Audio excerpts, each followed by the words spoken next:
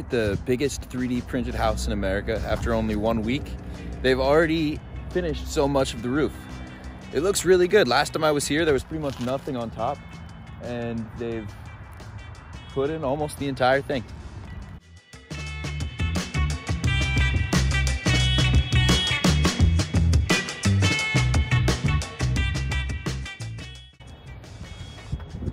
At this point, the interior will be protected from rain. So the rest of the construction project, mostly aesthetics on the interior, can be done even on a rainy day and the people working on the project can stay dry.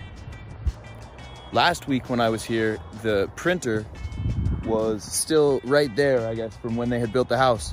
But now they've disassembled it and moved it over here and you can actually see when it's broken down, it becomes pretty small.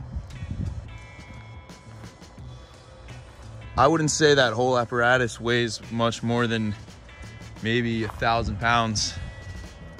I believe that these are the tracks that the printer slides on as it goes down and back of the house.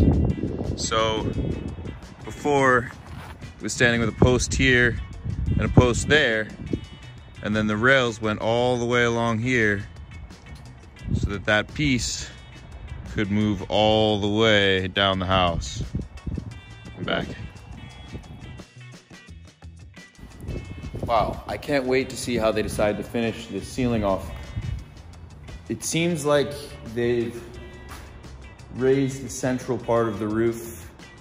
Maybe they'll drywall up there so that this part of the ceiling is a little higher.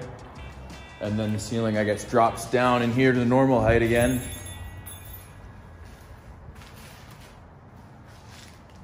Here's the back of the house. This side has much better lighting at this time of day. Last time I was here, I had contacted the owners of this project, SQ4D, but they didn't respond to my email. So I came anyway. But since then, they actually saw the video that I did last week and they were happy about it. That's just about everything new on this project. So I'll check back in in a few weeks and see if anything else has changed. If you're interested in 3D printed construction, then make sure to subscribe to my channel and I'll make sure that you get to see every project that I do.